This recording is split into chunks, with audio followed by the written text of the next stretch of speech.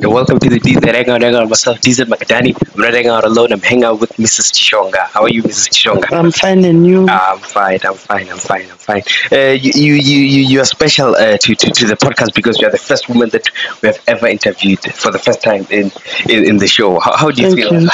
I feel all very much honored. yeah, yeah. Thank you. Thank you. Thank you. Uh, let's start with who is Mrs. Chishonga?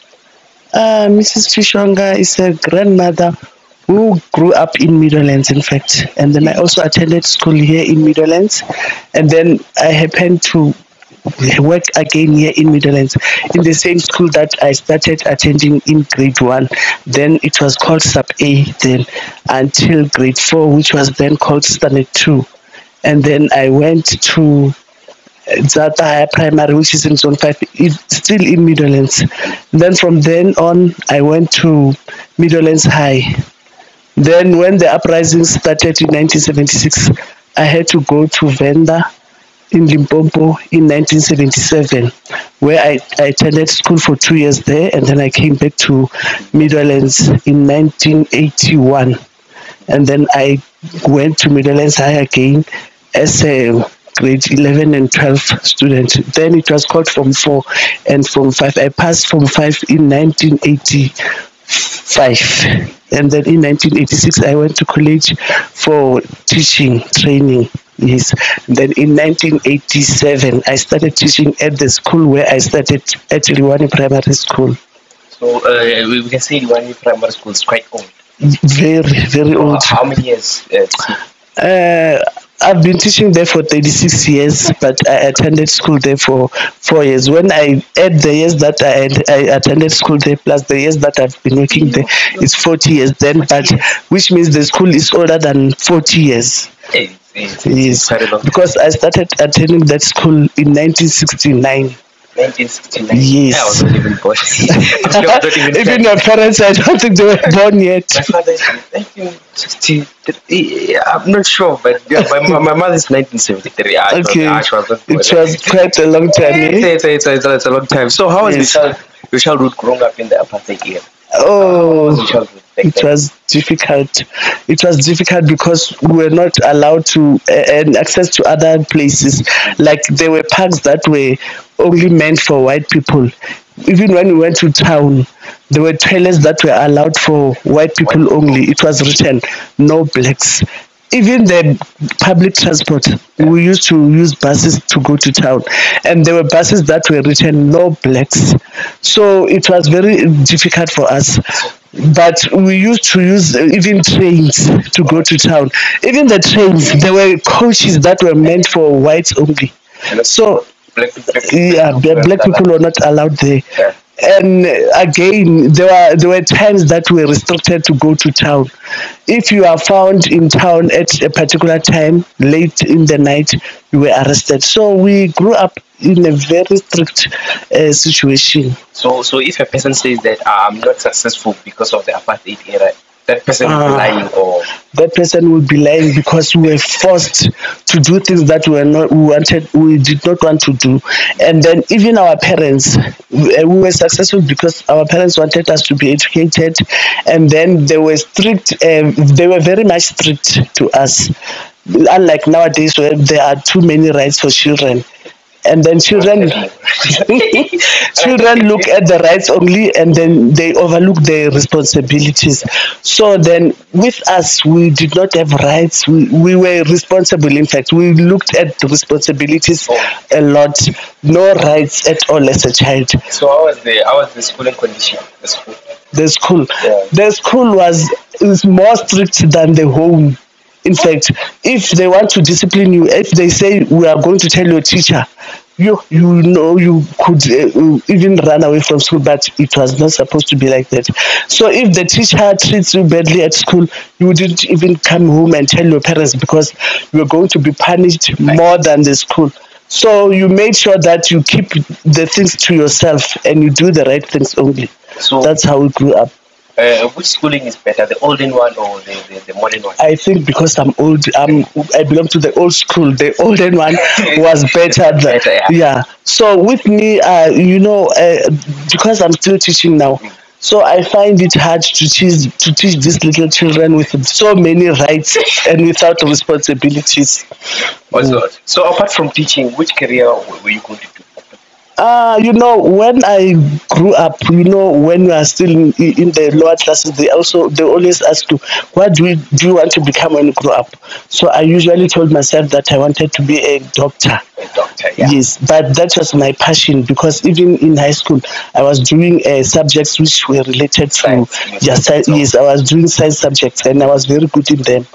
But because of the parents who were not educated, they wanted me to be a teacher. But uh, besides that, they had no money for to fund me to go to university. And during that time, we didn't have bursaries like NSFAS and all sorts of bursaries.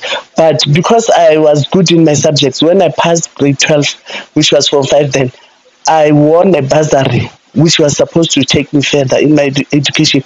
But because my father was not educated, he said he felt like if I'm uh, I'm taken to school or I proceeded to go to tertiary school with a bursary. It was he. It made him feel like he was not man enough Oh, yeah. because the child. Yes.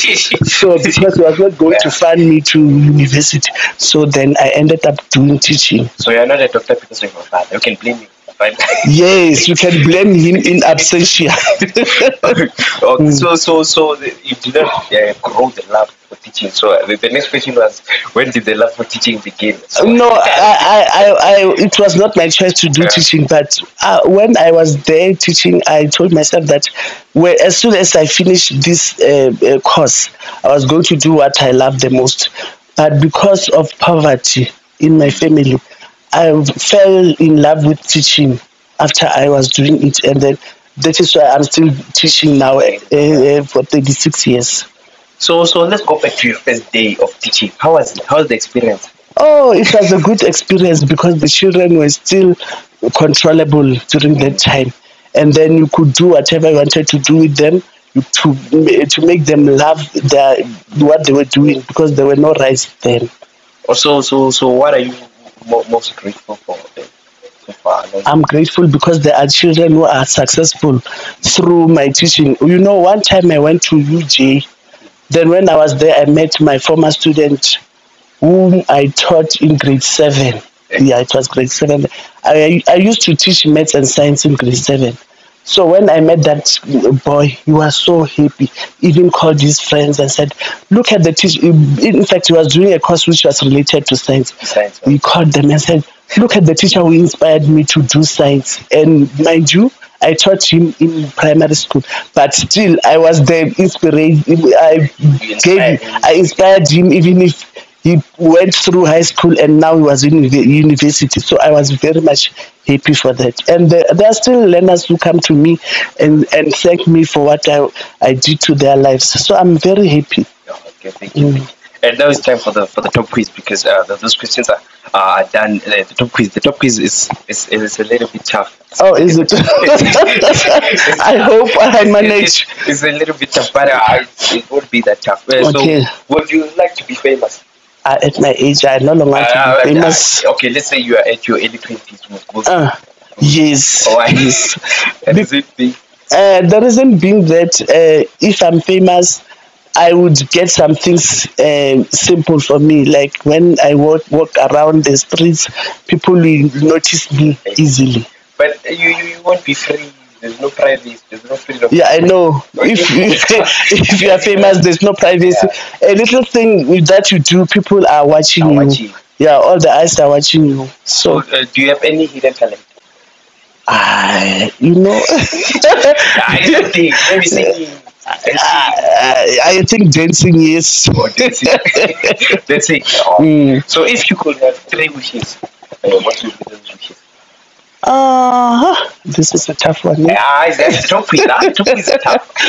is tough. eh? so if wishes were they usually say if wishes were horses beggars would ride so if i can uh, wish for anything three things Yeah, i could wish if i was not living here in Midlands, maybe living in the suburbs Eh, and then if maybe But you've been living in Middlelands for quite a long time. yeah, uh, is it my childhood was in Midlands. My adulthood, oh, my we tired of I'm tired of Mid. it's quite, quite a long time. yeah, it's quite a long time. So you, you, will move uh, from Middlelands to, to the suburb the first week here. The Yes. second one, The second one, what would be uh, to travel or to travel. overseas? Yes, because I've quite I've traveled to some provinces here in South Africa, but I want to go out of South Africa and experience what the other countries, Yeah. how the other countries are. Yes.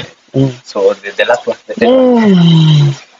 The other wish is to, for my children and my grandchildren to be successful. Ah, that, that, that, that's beautiful. That's Mm. beautiful. So what do you think about AI, artificial intelligence, going you know it, it's something that is artificial it can easily end. So like you you remember we have uh, things like uh, we call we usually call them Chi- chinese products.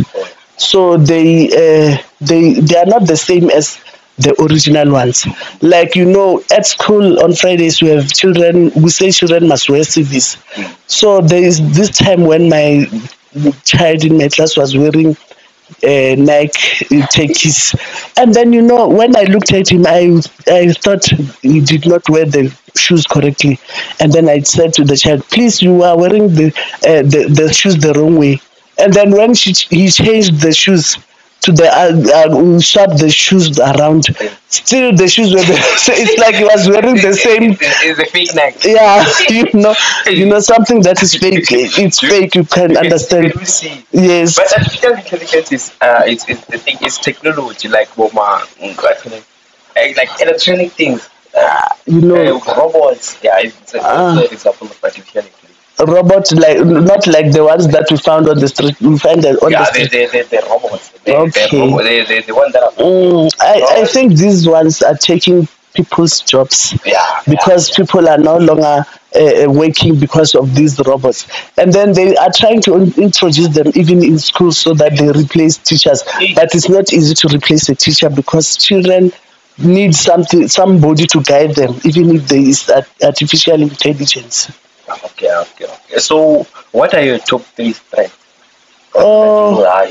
Ah, these ones. I'm, I'm because I'm a teacher, I know that if I'm serious with my teaching, you know, if there were no uh, rights that children know best, not knowing their responsibilities, I'm very good in that.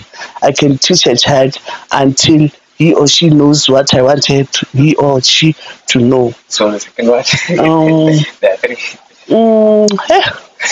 ah, the top quiz, eh? The top quiz. The top quiz is tough. uh, by the way, repeat the question. uh, I said, uh, what are your top three Oh, strengths. Yeah. And then I think I can also organize things very well. I'm a good organizer. Yeah. And then I think, uh, uh, what else? The top quiz. is so wrong. also, there are only two.